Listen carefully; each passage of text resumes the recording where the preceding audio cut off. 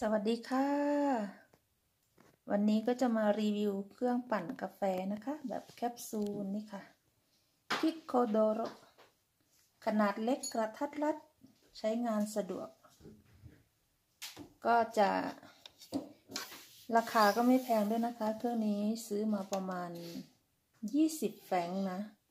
แล้วก็ใช้งานมาหลายปีแล้วค่ะ ประมาณ 2-3 ปีแล้วนะ ที่อยู่กับพวกเรามาใช้ทนค่ะ ก็จะเป็นแบบแคปซูลเนาะนี่ก็จะดูแคปซูลหน่อยว่า เป็นประมาณนี้ อันนี้ของแฟน ก็จะดื่มกาแฟเอ็กซ์เพรสโซ่ส่วนของมารินก็จะเป็นกาแฟจินเสงค่ะ เออเขาเรียกว่าอะไรนะ จินเสงอะค่ะ ภาษาไทยโสมใช่ไหม กาแฟโสมค่ะนี้มารินก็จะดื่มแบบนี้นะคะ ก็ ตอนนี้ก็ warm เครื่องพร้อมแล้วนะคะก็จะเป็นประมาณนี้นะคะที่ใส่แคปซูลก็อยู่ข้างในนี่เวลาเรากดกาแฟลงแคปซูลมันก็จะตกลงมานี้นะคะ ตรงนี้ แล้วก็เราก็จะเอานี่เลย แก้วของเรามาวางตรงนี้ วางรอเลยค่ะอ่าแล้วก็ อันนี้ก็เปิดไว้แล้วเนาะเปิดเครื่องเตรียมไว้แล้ว เอาแคปซูลเรานี่แหละค่ะ ใส่ลงไป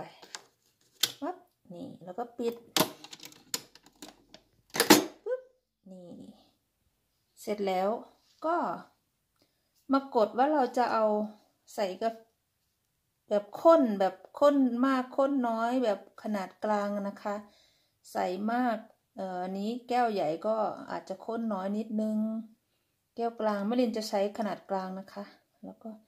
กดไปเลย เสร็จแล้วเขาก็จะ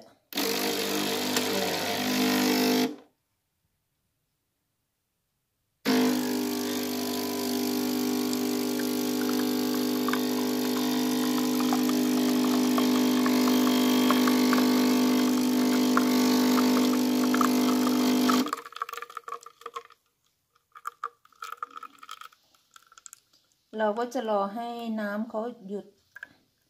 ไม่หยดนะคะก็จะเอาออก คือเครื่องนี้เขาอาจจะแบบ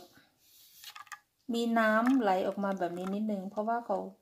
เราใช้งานมาหลายปีแล้วค่ะ แล้วบวกกับราคาที่เราไปซื้อช่วงที่เขาลดราคานะคะ อันนี้เป็นเครื่องที่สองของเราแล้วนะ เครื่องแรกอันเดียวกันนี่แหละค่ะแบบเดียวกัน แต่ว่าตอนนั้นเราซื้อเต็มราคาอยู่ที่สี่สิบแฟงมั้งถ้าจำไม่ผิดนะนะคะ แล้วพอ เอ่อมันเป็นช่วงที่แบบว่ามันจะเขาเรียกว่าอะไรตกรุ่นใช่ไหม เขาก็เลยเอามาลดราคาค่ะ เหลืออยู่ครึ่งราคา ก็เลยไปซื้อมา พอดีเครื่องเก่าอะ เอ่อมันพัง มันก็พังไปนะคะ ตามอายุการใช้งานเนาะ เนี่ยค่ะ มันก็จะมีตรงนี้เป็นให้เราใส่น้ำก็จะมีขีดอยู่นะ นี่บอกว่าตรงนี้มาซิโมก็คือเป็นน้ำเยอะที่สุดนะคะ ใส่มากที่สุดได้เท่านี้เนาะ แล้วก็เรียนก็ใส่ไม่เต็มหรอก มันก็จะได้ประมาณนี้ ก็สะดวกสบายค่ะ มีเครื่องกาแฟแบบนี้ แต่ว่าอาจจะเปลืองแคปซูลนิดนึง เออแคปซูลนี้เราก็จะซื้อมาแบบเป็นกล่องนะคะ กล่องหนึ่งข้างในนี้ก็ประมาณเท่าไหร่จำไม่ได้แล้วว่ากี่อัน น่าจะสิบอันนะ แล้วก็จำราคาไม่ได้แล้วค่ะ เพราะว่าเป็นคนที่ซื้อของแล้วไม่ค่อยจำราคาค่ะว่า คือก็ใช้ตลอดนะ ซื้อตลอดแต่ว่าไม่เคยจำราคาเลยค่ะ นี่แหละมันก็สะดวกสบายใช้ง่ายใช้งานง่ายค่ะ แค่เสียบปลั๊กประมาณ หนึ่งนาทีก็พอพอเครื่องร้อนแล้วเครื่องพร้อมแล้วเขาก็จะเตือนเรานะคะ บอกปิดปิดปิดปิดฉันพร้อมแล้วนะมาเอากาแฟใส่ฉันหน่อยอะไรแบบเนี้ยเออนี่ราคาเราก็มาทำแบบนี้ แต่ถ้าเป็นแฟนเขาก็จะใส่ ถ้าเป็นสามีนะคะ ก็จะใส่แก้วเล็ก มันก็จะเข้มข้นกว่าเนาะแล้วเป็นเอสเปรสโซ่ด้วยเอสเปรสโซ่อิตาเลียนี่ค่ะเขาจะกินแบบนี้ แต่ของเราเนี่ยก็จะกินแบบ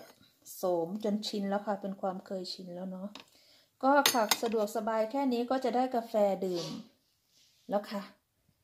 เนาะก็วันนี้แค่นี้นะคะมารีวิวเครื่องทำกาแฟ เดี๋ยวพรุ่งนี้เราจะมารีวิวเครื่องทำกาแฟอีกชนิดหนึ่ง